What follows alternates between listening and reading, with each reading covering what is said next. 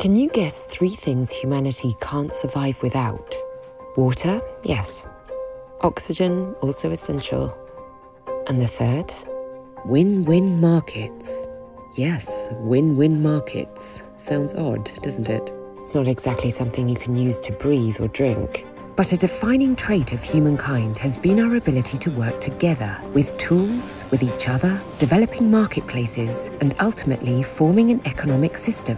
Together with social advances, this form of capitalism, when based on win win human interactions, has helped elevate people out of poverty and illiteracy like no other economic system before it. And an increase in economic freedom significantly increases quality of life, health, and life expectancy, a bit like water, like oxygen. Does that make capitalism perfect? No. Are there people who exploit others in their pursuit of wealth? Yes.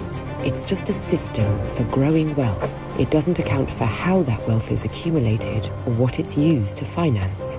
It's up to us, as users of the system, to determine how we want to make use of the opportunities it offers for moving every trade and every transaction towards win win. And while it may seem like an overwhelming task to transform capitalism, we've done it several times before. In the 16th century, feudalism's barter economy gave way to monetary economics. Land and property became viable currencies, and the growth of state power led to states issuing their own notes and coins.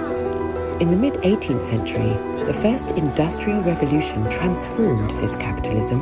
The largely state financed changes led to many of the monopolies that in the last century we have started to break up to encourage a more free and competitive market economy thus transforming capitalism again.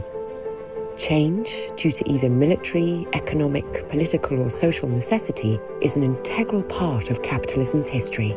Changing it again requires that we begin to ask ourselves what kind of wealth we want and then to take a stand on how it should be created. At Saxo, we don't just put our trust in capitalism, but in humanity, because we believe in you. You can influence how money should be accumulated by pursuing win win transactions. And whether we call it rational capitalism, humanistic capitalism, or win win capitalism doesn't matter. What matters is striving for a system where others win when you win, where the value of money depends on how it's earned, spent, and invested.